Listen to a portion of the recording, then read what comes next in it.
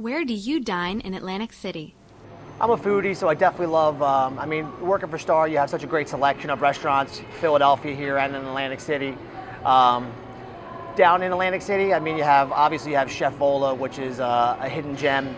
Uh, I'm a big fan of Knife and Fork, um, and then you have uh, you know a great selection of restaurants. Obviously, you have Continental and Buddakan, and you know you have some nice restaurants at the Revel and at um, the Borgata as well. Which clubs or bars do you enjoy? I, I, still do, even at my old age, still do frequent some clubs here and there. Um, Atlantic City now at this point has really become uh, a nice, um, has a nice selection of clubs to go into, um, especially with the house music explosion here in Atlantic City.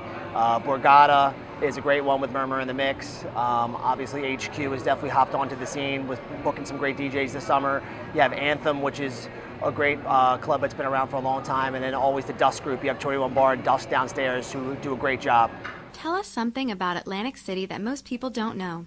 Well, a big thing about Atlantic City, I mean, that people forget about is the boardwalk and the beach. I mean, that's one of the things that, you know, really separates Atlantic City from everywhere else. I mean, everybody has casinos.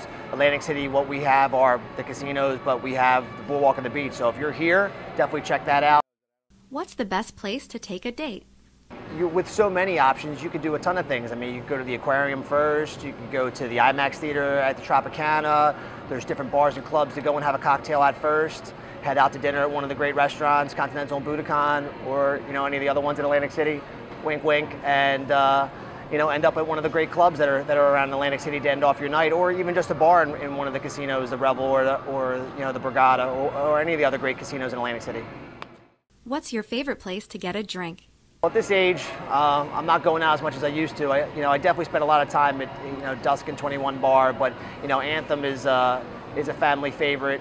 You know, definitely stop in there and, and have a cocktail. Great new place, you know, reopened. Um, uh, I'm also a fan of Borgata. You know, definitely, you know, Racebook, Izakaya. You know, B Bar is a great place just to have a cocktail if you don't want to go into that club atmosphere. Where do you like to get sushi? I got to stay local again. I mean, Sozai does a great job, great environment. Take a look at the, the views outside of the ocean and the beach. I mean, it's definitely a, a recipe for success.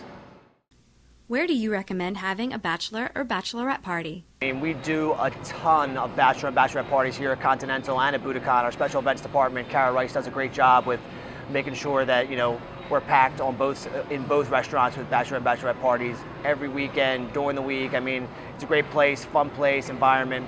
Um, to go outside of here, um, the Palm with Paul Sandler. Uh, he has a private room, which is great for bachelor and bachelorette parties as well. Um, divorce parties, the whole nine yards. So I mean, there's definitely some great spots. Where do you like to shop? I mean, obviously the Pier's got some great shops, some, some higher end shops. You got your Gucci, your Louis Vuitton, you got Apple here. I mean, definitely some, some great high end shopping. And then you can walk right out the door and you have uh, the outlets. I mean, the Tanger outlets, great place to shop, tons of different outlets. I mean, if you can't find something to buy there, then you're not going to be able to shop. I mean, definitely a great place. What are the best spots to take the kids? They just opened a glow golf here, which I took my son to, which is which is a ton of fun. And again, I'm going to say the outlets. You have the aquarium. Um, the the Tropicana the Quarter has has uh, uh, some nice shops for kids as well. Um, and of course, the beach and the boardwalk. Again, what makes Atlantic City famous? You know, part of it, part of the history. What is the biggest misconception about Atlantic City that you hate?